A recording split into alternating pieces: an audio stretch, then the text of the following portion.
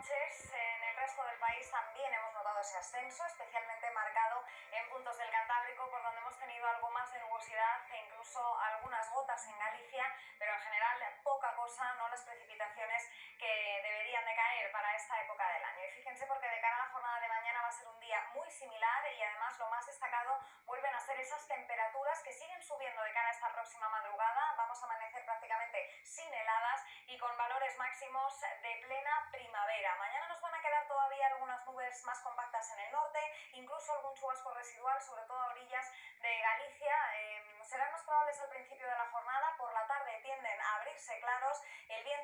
con fuerza, esperamos mar combinada por aquí de hasta 5 metros de altura, así que muchísima precaución. Nubes medias y altas en el interior y como ven en áreas del Mediterráneo jornada plenamente soleada debido a ese viento seco de poniente, rachas también importantes, sobre todo durante la mañana en la desembocadura del Ebro, vientos eh, también que pueden soplar con fuerza en Canarias, aunque por allí con cielos prácticamente despejados en todo el archipiélago y unas temperaturas que fíjense porque van a alcanzar los 20 grados o superarlos en muchas zonas, alcanzan esa marca en Bilbao, en Zaragoza, la rozan en Madrid o en Salamanca, también en Cáceres, 25 en Granada, 21 en Albacete, hasta los 26 en Murcia o alcanzando los 23 a la sombra en la comunidad valenciana. De cara a la jornada del viernes